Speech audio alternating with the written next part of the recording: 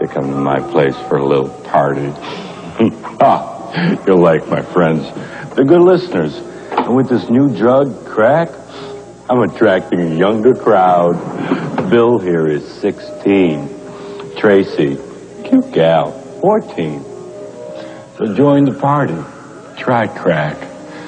I could use the company.